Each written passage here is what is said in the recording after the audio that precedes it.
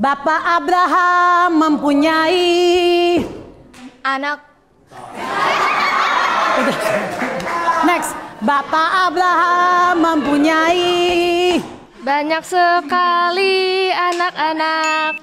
Aku anaknya dan kau juga. Betul Mari puji Tuhan. Tangan kanan, tangan kiri, kaki kanan, kaki kiri. Lompat-lompat. Kagak lompat.